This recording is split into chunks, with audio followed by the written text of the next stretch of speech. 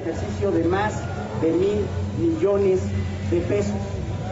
Yo les preguntaría a todos y cada uno de los que nos acompañan hoy aquí, ¿a poco no hay necesidades en esta ciudad para invertir esos más de mil millones de pesos?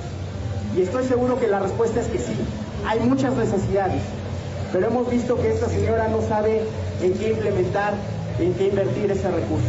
Por eso hoy Acción Nacional está presentando esta consulta ciudadana. Le vamos a preguntar a los poblanos en qué quieren que se gasten esos más de mil millones de pesos.